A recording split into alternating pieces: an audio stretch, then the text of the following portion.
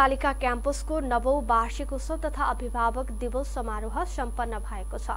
So अवसरमा बोल्दै पूर्व अर्थमन्त्री तथा नेपाल कम्युनिष्ट पार्टी एमालेका उपाध्यक्ष विष्णु प्रसाद पौडेलले सामुदायिक शैक्षिक संस्थाको गुणस्तरले शैक्षिक क्षेत्रमा समेत रूपन्देही अव्वल साबित भएको बताउनु भएको छ।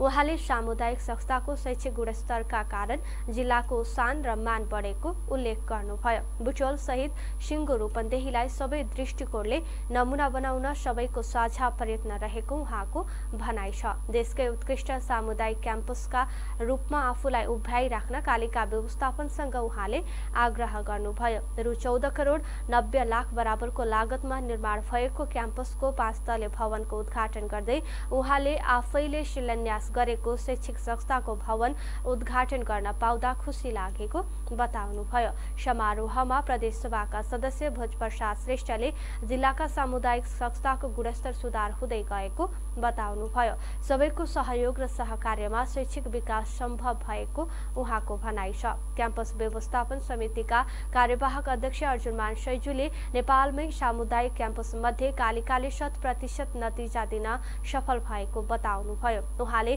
सामुदायिक संस्थामा काम गर्न र नतिजा निकाल्न समस्या भए पनि क्याम्पस व्यवस्थापन शिक्षक विद्यार्थी र अभिभावकको मेहनतले क्याम्पसले शैक्षिक सफलता हात पारेको बताउनुभयो। क्याम्पस प्रमुख घनश्याम पाठकले दुई हजार सत्तरीदेखि पैँतिसजना विद्यार्थीबाट उच्च शिक्षा सुरुवात गरेको क्याम्पसमा दुई हजार नौ सय पचपन्नजना विद्यार्थी सहभागी रहेको बताउनुभयो। नौ वर्षको अन्तरालमा क्याम्पसले भौतिक पूर्वाधार र शैक्षिक प्रगति हासिल गरेको बताउँदै उहाँले बिसिएतर्फ क्याम्पसले पहिलो ब्याचदेखि नै शत प्रतिशत नतिजा हासिल गर्न सफल भएको बताउनुभयो। समारोहमा क्याम्पसबाट नेपाल प्रथम हुन सफल विद्यार्थी मणिराज गौतम निवर्तमान अध्यक्ष रामचन्द्र छेत्री निमित्त सहायक प्रमुख दिनेश थापा इन्जिनियर गौतम रौनियार खेल शिक्षक हरिश ओली निर्माण व्यवसाय कृष्ण भूषाल प्रकाश पाण्डे गीता खत्री कृष्ण गाहा गणेशपुन रविन बगालेलाई